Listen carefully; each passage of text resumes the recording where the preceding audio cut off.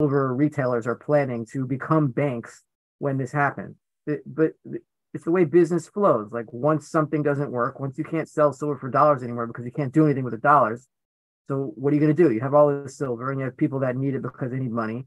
So you loan it out. With where everything stands right now, I'd love to get a synopsis of how you see the silver market moving forward. As today it's uh, trading $19 and change. We're recording on Tuesday, October 11th. So perhaps we could start there. Uh, how long do I see until the end game happens? I wish I knew the exact answer to that question because then I wouldn't have to worry about anything. Um, but look, some of the things that I'm seeing that I'm focusing on is look, first of all, physical premiums are now above record highs. They're the junk premiums are now 42%. When when you get when you get premiums really this high in the physical market, what that's saying is that the spot price is less and less relevant in reality.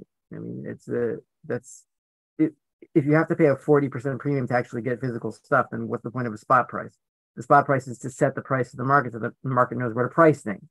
But if the market, if the actual market where these things are being sold is saying, no, I don't like that price, then they'll charge a premium way above and beyond.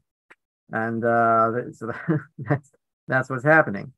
And um, the other thing that I that I saw that like popped uh, popped into my view. I just uh, the the um we talk about SLV a lot, right? And SLV has been losing a lot of silver. But then I wanted to look at what about all the rest of the silver funds in the world, Perth Mint, um, Gold Money, Kinesis, or whoever stores silver. Whoever basically stores silver for a certificate to give to somebody to say that they own silver somewhere in the world, whether that's SLV or anything else.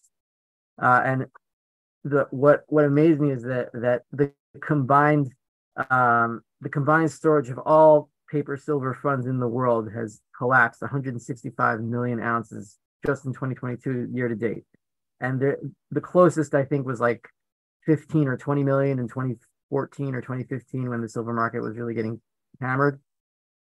There's nothing close to 165 million, but the question is 165 million ounces. Okay, so where'd it go? Where is it? and you look you look in the COMEX, the, their total silver stockpiles are not going up. Yeah, registered going down, but the eligible plus eligible is stable. Like the, they're not getting any more silver. And you look at the LBMA, and it's it's tanked another 45 million or something into into September, and now it's at 847 million. And you look at the chart, it's like straight down since uh since silver squeeze, basically. So it's not going into the LBMA. It's not going into the COMEX. Where the hell is it going? So the, the answer has to be where the premiums are, because where else would it go? I mean, you get you get flows into where the you get the most money. So who's who's paying the premiums? The silver stacker. That, that's who's paying them. You know, that that's what we want people to do. So all this silver is going out of the paper markets into people's basements or attics or or I don't know, some kind of trick tile on their floor in a safe somewhere. I, good. That's that's has to be where it's going. That's that's the silver lining. Hopefully, there's a silver lining around everyone's house. You know, lead paint, silver lining to save it from a nuclear attack or whatever's going to happen in Russia. I don't know. Everything's going crazy. Although something you mentioned last week, which I thought was interesting and something I've thought about before, is that if we do have this environment where silver is becoming more predominant as money, what that actually looks like and you talked about some of the bullion dealerships almost becoming like a de facto bank. And I was wondering if you could talk a bit more about that because, you know, when we really do have a, a bigger issue, if it hits the dollar, if it hits these other currencies in a more severe, overt way, mm-hmm. how does that, how do you think that actually goes in terms of how people are tangibly using their silver? Well, you got to put yourself into a world like that and it's hard to do but it's it's a world where nobody wants dollars or they just it's just not worth enough.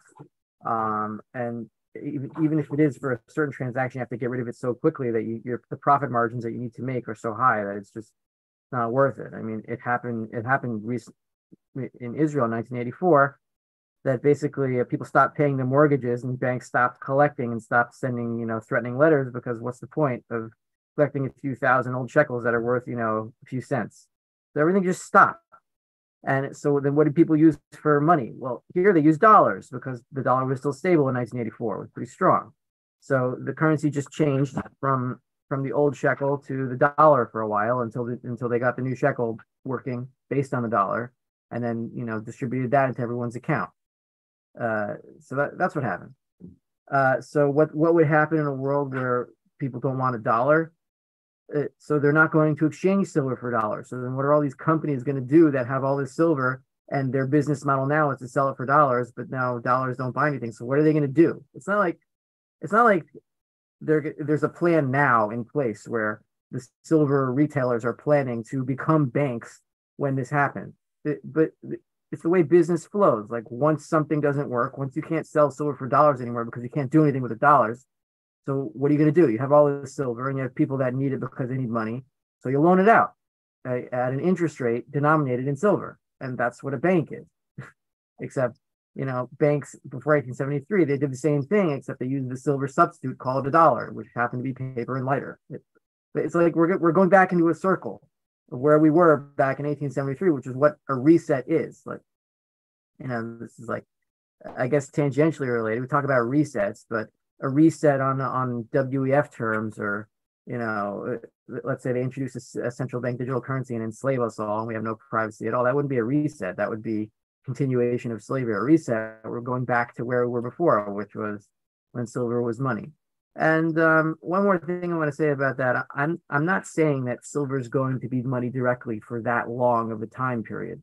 Maybe it will be, but but generally, silver is silver is going to be money for that for at least for that emergency time period when gold substitutes no longer work and and nobody trusts them. So like, then what are you going to do? So you're going to go to silver because that divides gold very well.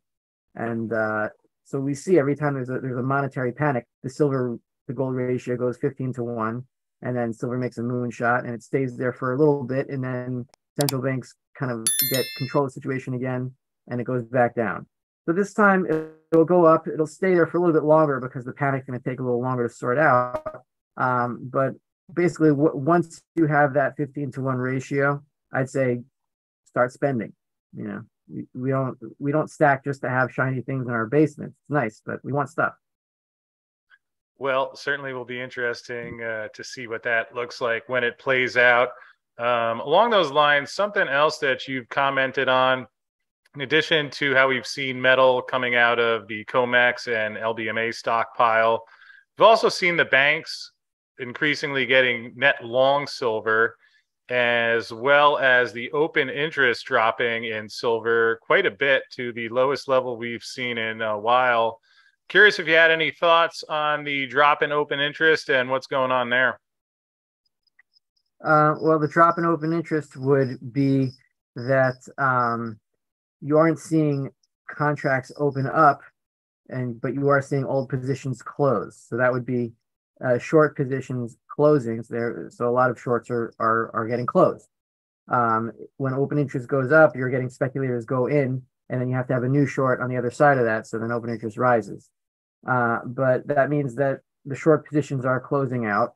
Uh, I haven't checked the COT numbers. How many how many shorts, how many longs are there? Are everything's net long now. Is that what it is? Yep. Are there so bullion banks are net long now? Um, so it hasn't been as low since uh, it looks like what is this, the five year chart? This yeah. is yes, the five year. Uh, I mean, usually when when open interest is this low, you just you know look at the graph. I mean, in in March 2020, it was uh, we were at what like 10, 50, 11 dollars, and then uh, and then it went back up again. Uh, so at numbers these low, which this low, which is below March 2020, then the price is going to go up again. Exactly when, you don't know. But the key is you don't want to be in a situation where you're chasing it. You want to be in while it's low so that when it goes up, you're not, you know, clicking the computer the next day and saying, oh my God, silver went up 10%. I better get in now. No, you don't want to get in now. You want to get in before that. That's the whole point. So uh, it, what does it matter if it takes a week, if it takes a month, uh, if it takes a year? I don't think it's going to take a year, but you know, we've seen this before. We've seen open interest this low. We've seen what happens before. It's going to happen again.